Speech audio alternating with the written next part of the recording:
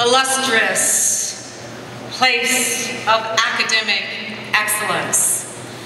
You are the gateway to opportunity.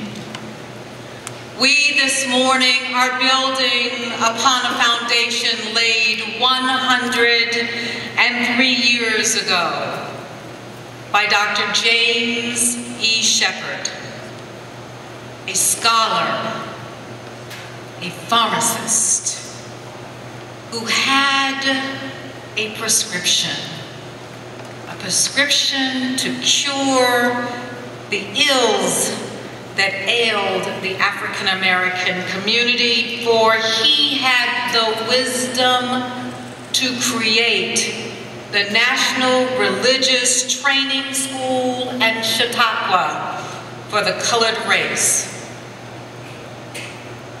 It is his vision that we celebrate today for this place that we now call North Carolina Central University would not have been if he didn't have the courage the fortitude to fight forward.